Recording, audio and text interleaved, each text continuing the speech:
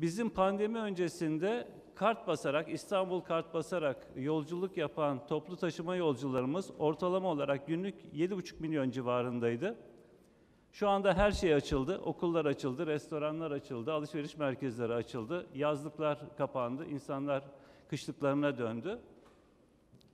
Toplu taşıma yolculuklarındaki ortalama günlük yolcu sayımız 6 milyon civarında. Yani İstanbulluların toplu taşıma kullanan kesiminin yüzde yirmisi toplu taşımadan kaçtı. Nereye kaçtı? Özel araçlarına kaçtı, taksilere kaçtı. Şimdi e, biraz önce söylediğim gibi TETAŞ'tan alınan verilerde 2020 Şubat ayında yüzde 47, Kasım ayında yüzde 40 olan doluluk oranının 1 Temmuz öncesinde yüzde 83'e, 1 Temmuz sonrasında da yüzde 91'e çıktığı söyleniyor. TETAŞ'ın verileri aynı veriler.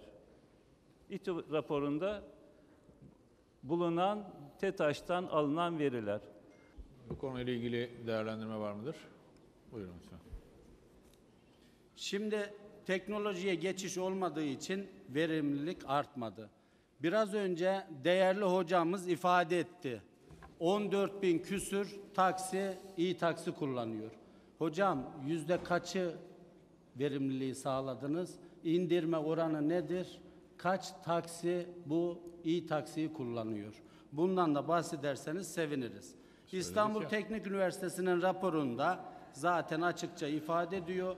Yüzde otuz doluluk oranı var diyor. Eğer bu doluluk oranı teknoloji verimliliği sağlanarak arttırılırsa 10 bin taksiye yakın ilave edilmiş gibi olur.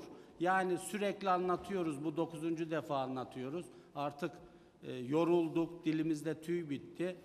Arka sokakta taksici yolcu beklerken ön sokakta yolcu taksici bekliyor, taksiyi bekliyor. Yolcuyla taksiciyi buluşturan aplikasyon, teknoloji tam anlamıyla hayata geçerse verimlilik çok artacak ve sayısı artmayacak, taksinin artmasına gerek kalmayacak. Tam tersine ilave taksi edilmiş gibi verimlilik alınacak. Şimdi trafik sorunu çözülmeden taksi sayısının artışına ölçüm yapılamaz. Maalesef Büyükşehir Belediye'mizin idaresi trafik sorununu çözme konusunda hiçbir adım attığını duymadık. Aziz İstanbullular duyduysa bize de iletsinler. Bir yolcuyu ortalama kısa mesafede 45 dakikada bir yere götürüyorduk.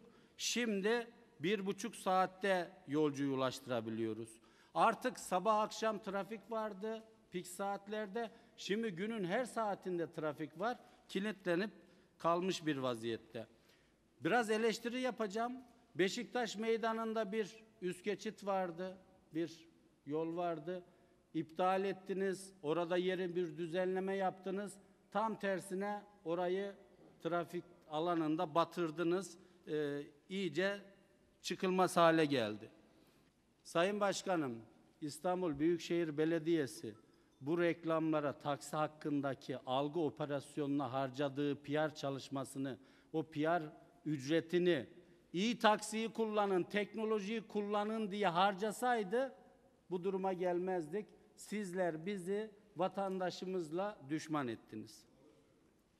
Şimdi taksi sorunu var var deniliyor sürekli ama birileri buradan siyaset yapıyor. İstanbul halkı da bunu çok iyi görüyor. Ee, önergeyi geldiği şekliyle oylarınızı arz ediyorum. Kabul edenler, et- etmeyenler oy çokluğuyla kabul edilmemiştir. Yedinci gündem maddemiz elektrikli scooter park yasak alanlarının belirlenmesi teklifi. Teklifle ilgili açıklama yapmak üzere Ulaşım Planlama Müdürümüz Emel Hanım'a ben mikrofonu bırakıyorum.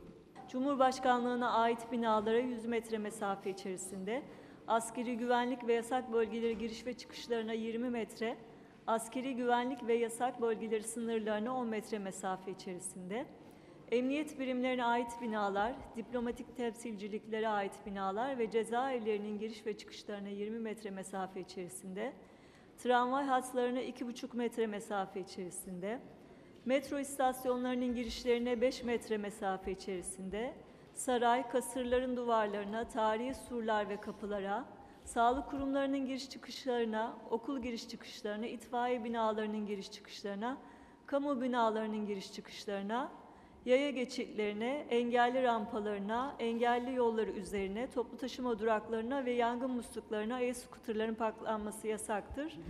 Ee, talep edilen diğer e, yasak e, şartlarımız olarak da e-scooter araçlarının tramvay ve metrobüs yollarına girmesi yasaktır şeklindeki teklifimizi bilgilerinize arz ederim. Peki, e, değerlendirme var mıdır bu açıklamanın üzerinde? Olmadığı görülmüştür. E, geldiği şekilde oylarınızı arz ediyoruz. Kabul edenler, etmeyenler kabul edilmiştir.